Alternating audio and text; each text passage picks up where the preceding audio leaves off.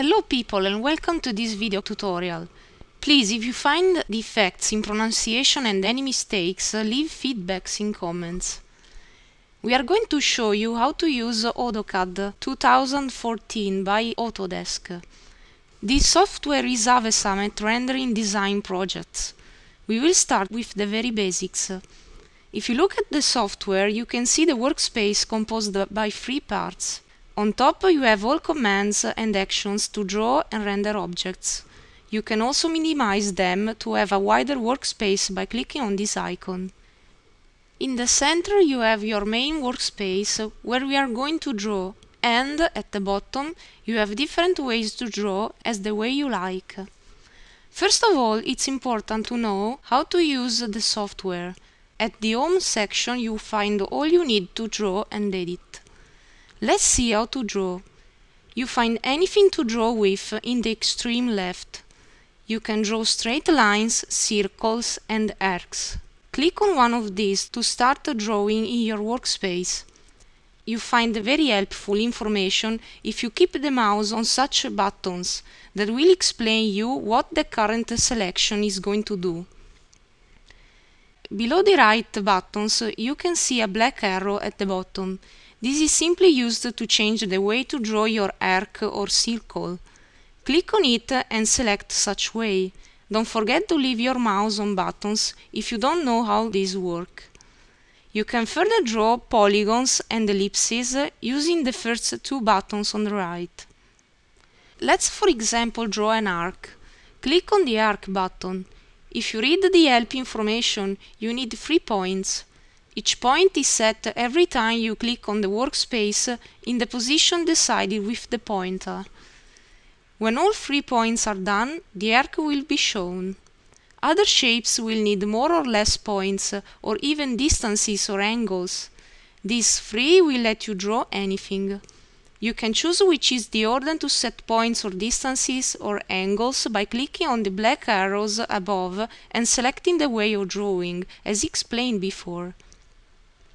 These green squares or lines help you to draw precisely, through a precise axis or while connecting two different objects drawn.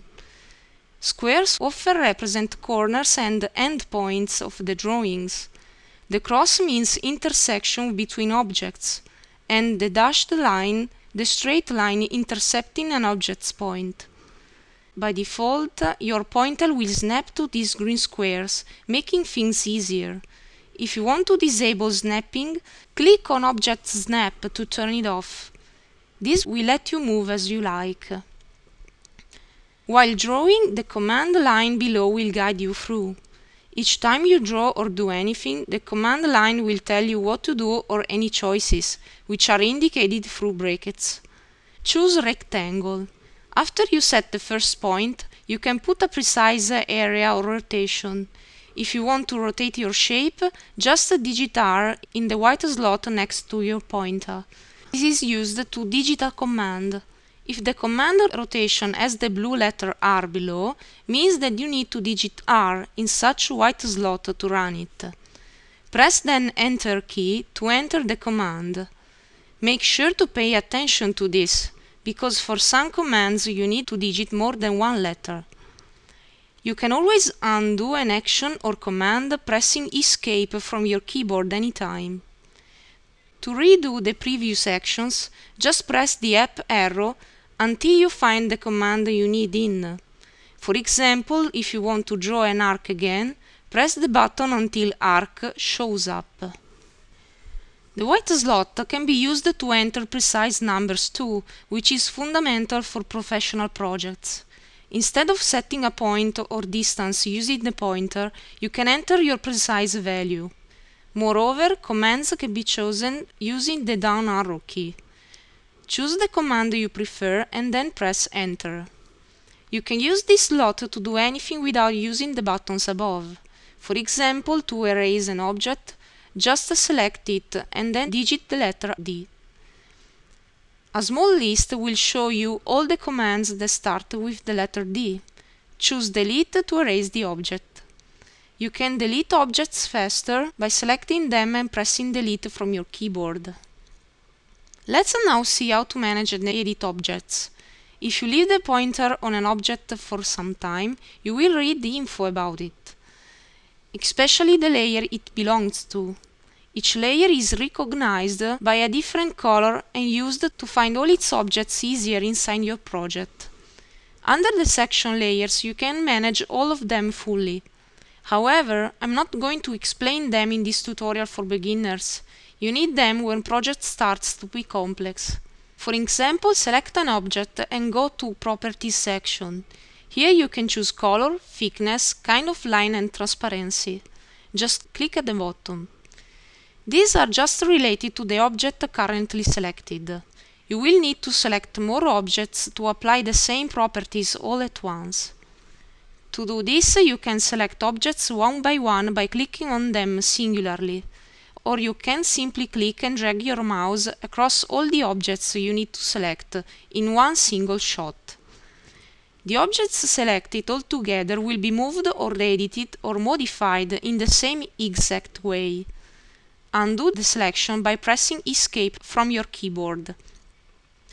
In case there is overlapping between two or more objects in one point, two small blue rectangles will appear next to your pointer. If you click, you can choose which object to select. To move an object singularly, select it first and click on the point on the center. This values even if you have more objects selected at the same time. Whereas to edit an object, you can click on its basic points that you used previously to draw the object itself and move them to go on editing. You will need to check angles and lengths in the future. To have a fast check, just select the object and put the pointer on a basic point for some time. This will help you to check if values and measures are put correctly. There are tools to edit your objects properly, just go above in the Modify section. If you have already selected the objects, you can go on with your transformation. Otherwise, the software will ask you to select the objects first, and the pointer will turn into a small white square. After you made this first step, press Enter from your keyboard to go on with the editing. For example, if you choose Move, click on a random point and then move the mouse until you are satisfied. You can stretch or scale objects using the other buttons in this way. You will need to use the Move tool in case you want to move more objects selected at the same time, since you can do this using the middle points of objects. You can copy and paste easily using your keyboard. Select one or more objects by clicking on them and then press Ctrl and C to copy and Ctrl and V to paste. While you paste, the object will appear next to your pointer to let you set exactly where to put the shape. You can also cut, just press Ctrl and X. It can be very useful to create groups of objects. For example, if you want to treat more than one object in the same way, you can collect them in one group instead of selecting them every time before editing or moving. Select the objects to collect together and then go in the Groups section. When you click on the bigger icon on the left, a new group will be created containing such objects. To work with groups, you need to enable the group selection, the third button on the right. If it's on, you will work with the wall groups created in the workspace. If it's off, the existence of groups is ignored, and you work with objects, one by one. Use the second button on the left called Group Edit to completely modify your group. You first choose the group and then use the arrows in your keyboard to work with the command line. You can add new objects, remove the ones in and rename the group itself. Use Ungroup to delete the group selected. The Escape button undoes the latest attempt of action. In case you delete something by mistake, use the undo button here on top to go backwards. You can use the button on the right to redo the action again. Last thing we are going to see is the visualization. Zoom is set simply through your mouse wheel. Use the pen button on the right to move through your workspace to check it better. To check your project, you can use the 3D map on the right. Until you go with 3D projects, the cube will show only the face top, meaning that you are watching the project up to down.